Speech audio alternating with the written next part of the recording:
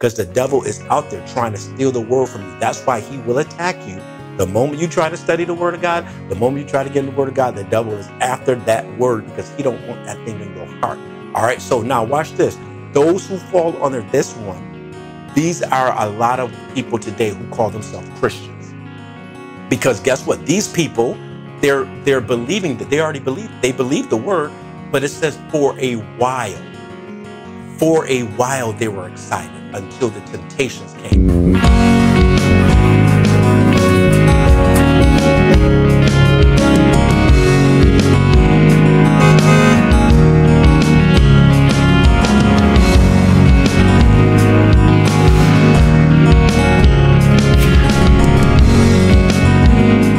God bless each and every one of you. I am Nathan Salter. I am so happy and blessed that you have taken time out of your busy schedule to connect with us here at Fuel Station Church.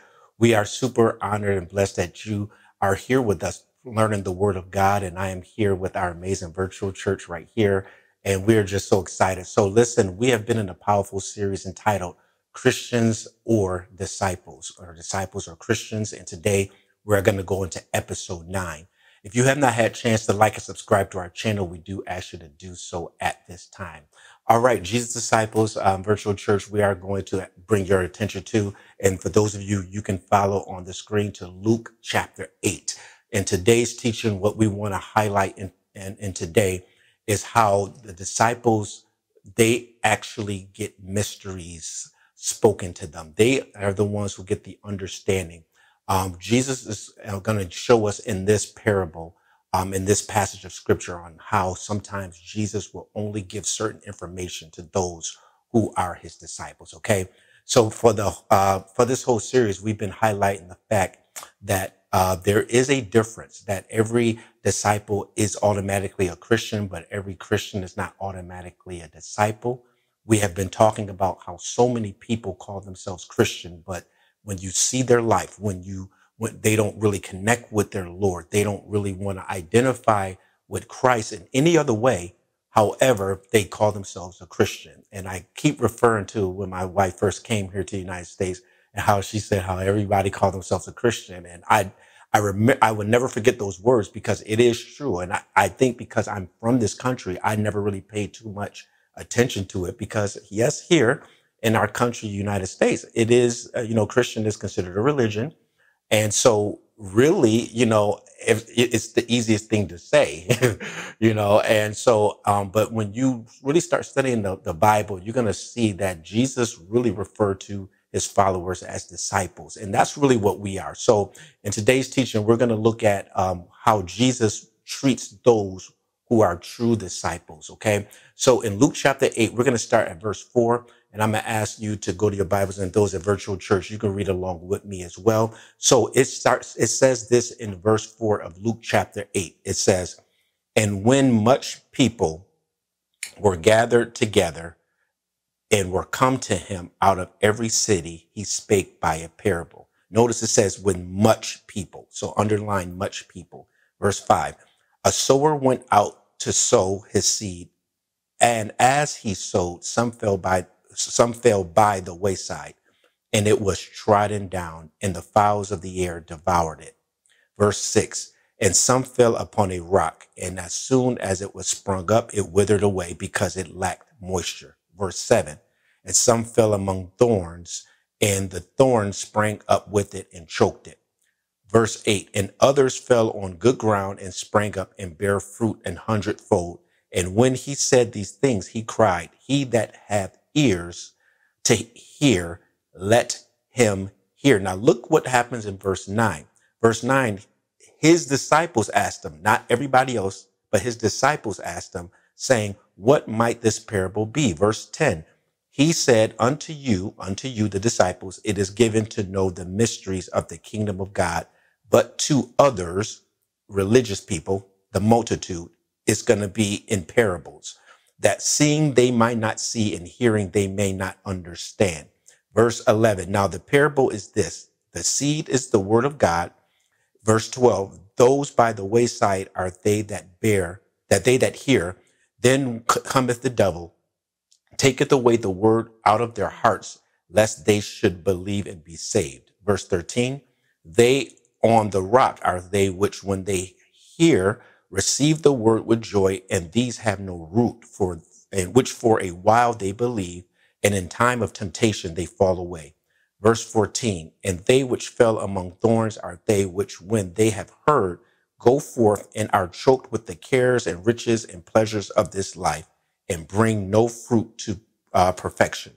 Verse 15, but that, but those that are on the good ground are they which in a honest and good heart, having heard the word, kept it and bring forth fruit with patience. So you see here that what Christ was bringing on this, he started off, he brought um, this multitude gathered. And when Jesus saw the multitude, he began to speak in a parable. He didn't, you notice in this passage, he didn't just pretty much go out and start giving them the deep things.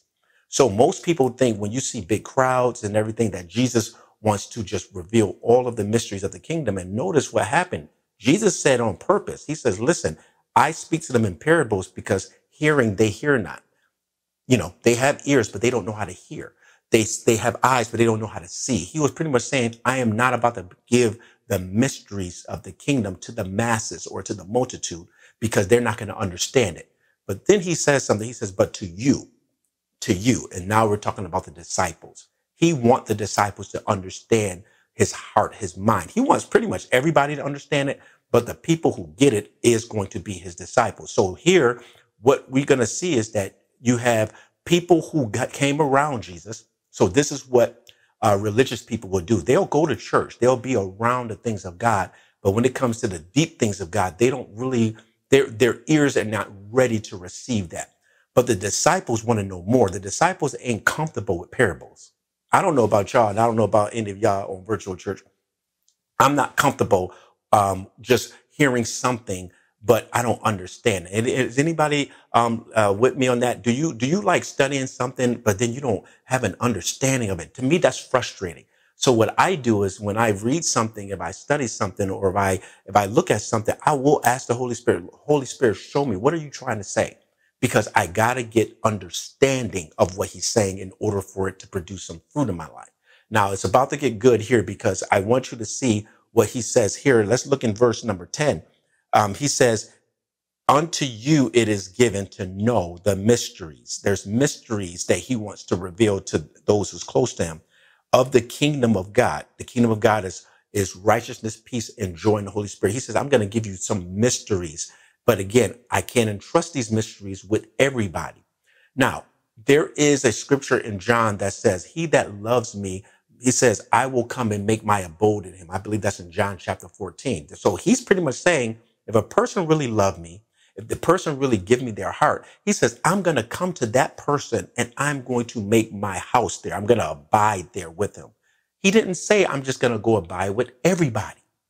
And this is what we got to understand because I think so many people, well, I go to church, I pay my tithe, so hey, I'm good. But okay, wait a minute. But there's some things that you're not getting until you become a true disciple. And remember, a true disciple is a follower, a learner, and a student. They are not just a person who's caught up and just comfortable going to things on special days of the year. They want to follow Christ every day. They are in his word every day. They're talking to him every day. They need him every day. They realize that they can do nothing without him. They, disciples are dependent on their teacher. They're dependent on their master.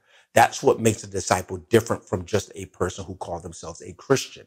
Because a Christian, they not dependent. When I let me let me let me make sure I say this right, because I don't want um, a person who's here in this series saying, you know, or ashamed to call yourself a Christian. I'm not saying don't be don't be ashamed to call yourself a Christian. I'm just saying just make sure you're a disciple under that name. Because if you're saying Christian but you're not really following the master, trust me, having the name is not good enough, okay? So here when he says it is up to it is to you, the disciples, to know the mysteries. So what are some of the mysteries? The mystery is the understanding of what he says. So it's clear, guys, that in verse four, he is saying something.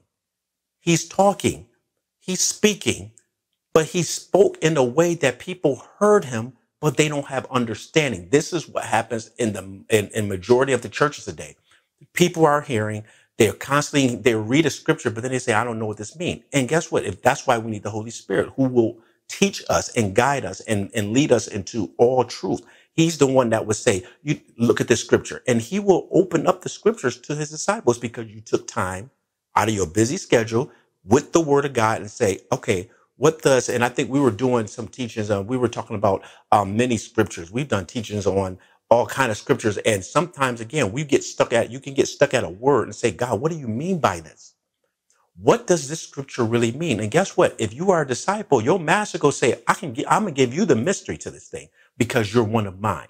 You're not just following me by name. All right. So I really want you to understand that there's mysteries for the true disciples. Now, this is the, my, one of my favorite parts of the story because right here, he is pretty much telling in this parable the kind of people that comes around. So he's using um, a parable about the seeds and the sower. So he says a sower went by and he sowed seeds.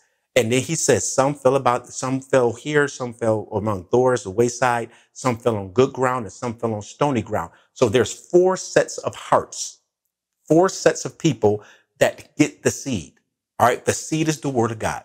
So what's happening is he's the sower, which is, which, which he breaks it down. He's the one who's, he's spreading the word. The seed is the word of God. He's going to break it down here. And he says, but the only problem is there's four type of people that these seeds fall on. I don't know which one y'all y'all y'all fall under, but um, I'm I'm I'm I'm by faith. I'm, I'm mine is I'm number I'm the good ground. I, I, you can put in your chat. I'm the good ground because you don't want to be the other ones. All right, so let's look at the three. Let's look at the other ones because remember this it's the word of God. Many people got the Bible. Many many people got Bible apps. They got softwares they got all type of stuff that they can get the seed, but it's the heart that the seed falls on. So let's look at um, the the uh, yeah. I see the chat. chats. Actually, good, good. Uh, she said, "I'm the good ground." I hear you. So let's look at let's look at what the scripture says here. So let's go now as he breaks it down. Let's go to verse um, 11. He says, "Now the parable is this." Now he's about to tell his disciples the parable. The disciples ask. So real quick, guys, disciples ask questions. Disciples ask questions. Make sure you put that in the chat. Disciples will ask questions.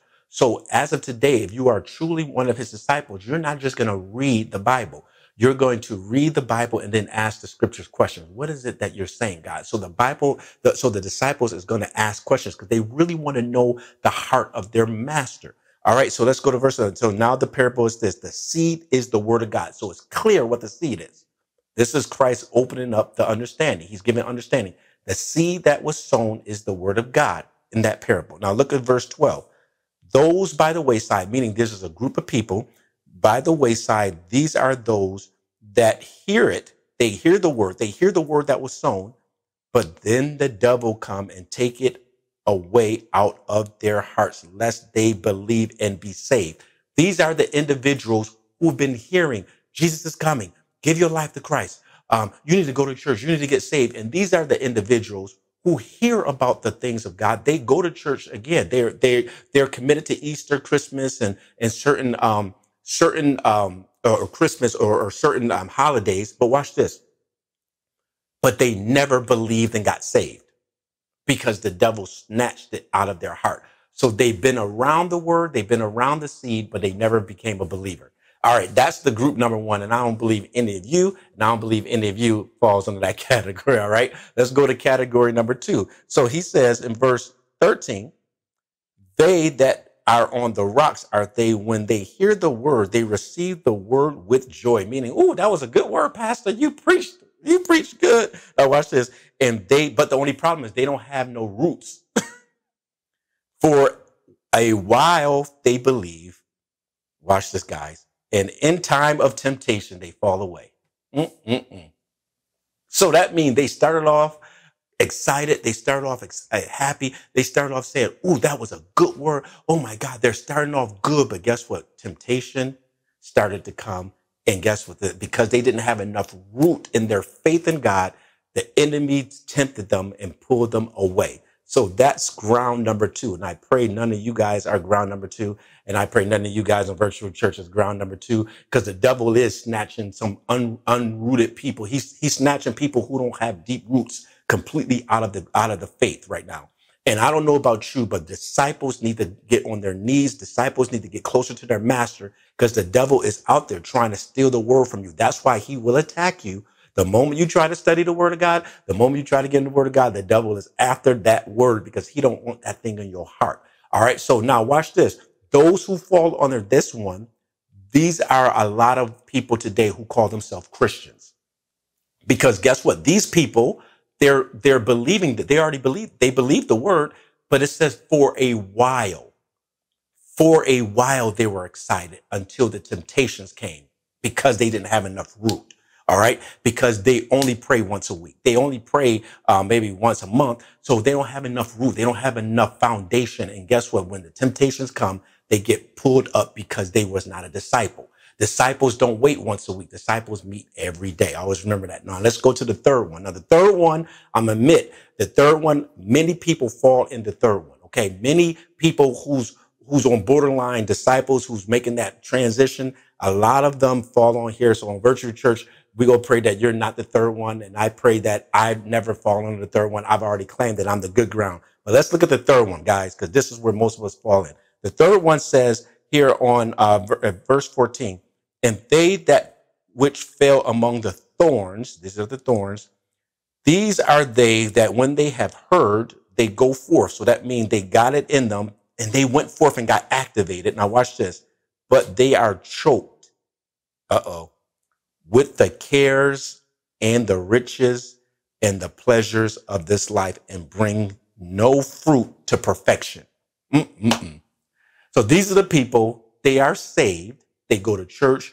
They actually seeking their assignment. They're actually seeking their purpose. They're actually trying to um, get to know God a little better. But guess what? They got distracted.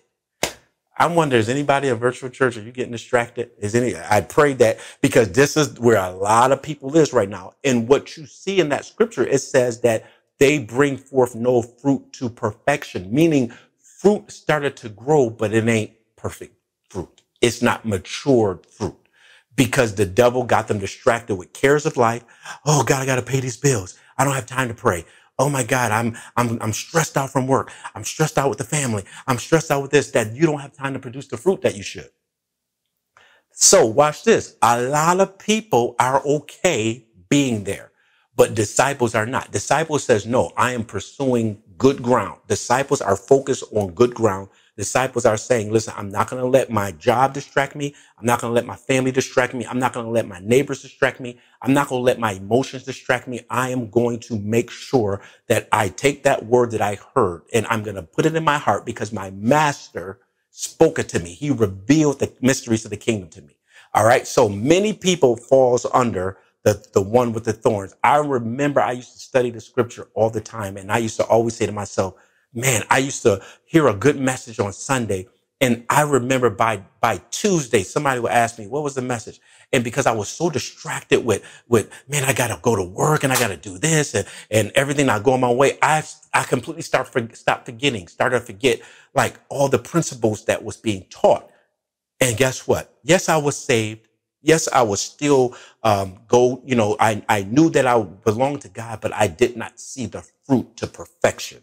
All right, now let's go to the last one. This is the one that the disciples are. So the last one here is 15, verse 15. But that on the good ground are they which in a honest and good heart, watch this, having heard the word, they kept it and they brought forth fruit with patience. Underline the word patience.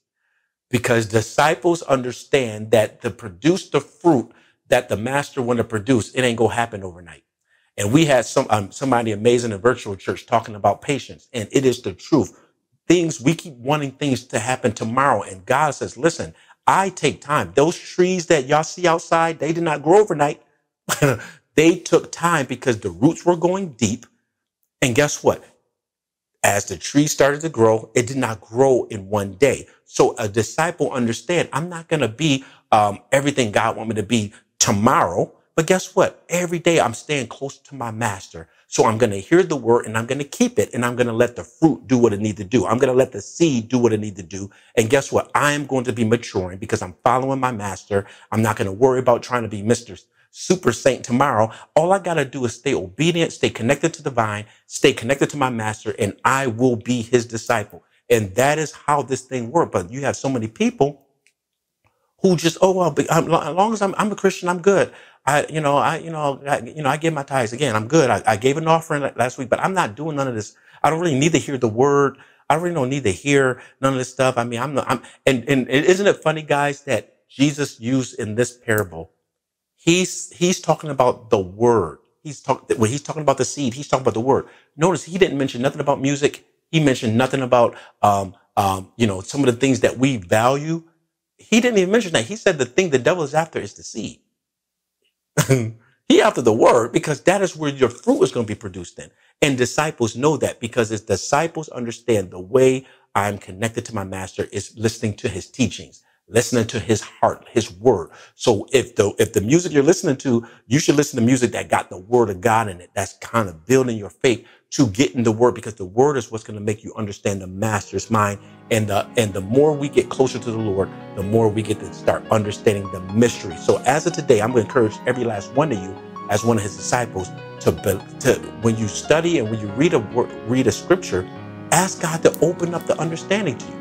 You will be shocked at the things that the Holy Spirit will show you if you gave him time to, to for him to show you the mysteries of the kingdom of God. So I pray that you were blessed in today's teaching. I'm going to ask you at this time, and those of you at virtual church, if you could just close your, uh, bow your heads with me as I say this prayer. Father, in the name of Jesus, we thank you so much, God, for your goodness and your mercy. Lord, I pray that every person who listened to this teaching on tonight, Father, I pray, God, that they will make up the decision that they will be a disciple. They will not just walk around it with a religious spirit, but Father, that they will truly be a true disciple, a true follower of you, somebody who is totally going to say yes to your will, somebody who's totally going to walk with, at the places that you say go to, somebody who's gonna who's gonna submit completely to your leadership. Father, help us to be the true disciples. Help us not to be, Lord God, the the the one, Lord God, whose heart is stony, whose heart is full, is like the thorns or or by the wayside. But help us to be the good ground, so we can yield the fruit and be your disciples and bring you glory. In Jesus' name, we pray. Amen. And if you are watching, if you don't know who Jesus Christ is, I am here to encourage you to please give your life to Jesus Christ. He loves you so much. He is soon to come back. We say here at Fuel Station Church all the time we have a, a, a, visible expiration date. That means pretty soon, each and every one of us is going to transition from this life to life eternity, uh, eternal. And our Lord and Savior Jesus Christ is the only way. He's the truth and the life to eternal life. So listen, if you want to give your life to Jesus Christ, I'm going to ask you to repeat after me at this time. Say, Lord Jesus, come into my heart. I repent of my sins. I confess with my mouth and I believe in my heart that you died and rose on the third day. Lord, change my heart. I repent of all my sins. And as of today, I ask you to be my Lord and Savior. In Jesus' name, Amen. Listen, if that is you, the angels in heaven are rejoicing, and we are rejoicing here at Fuel Station Church and here at Virtual Church. Listen, we thank you so much for connecting with us. We pray that this teaching was a blessing to you. Please go back and listen to the other teachings if you had not had a chance to. And we are so looking forward to see you on next week. In Jesus' name, God bless you. Let's give God a hand praise here.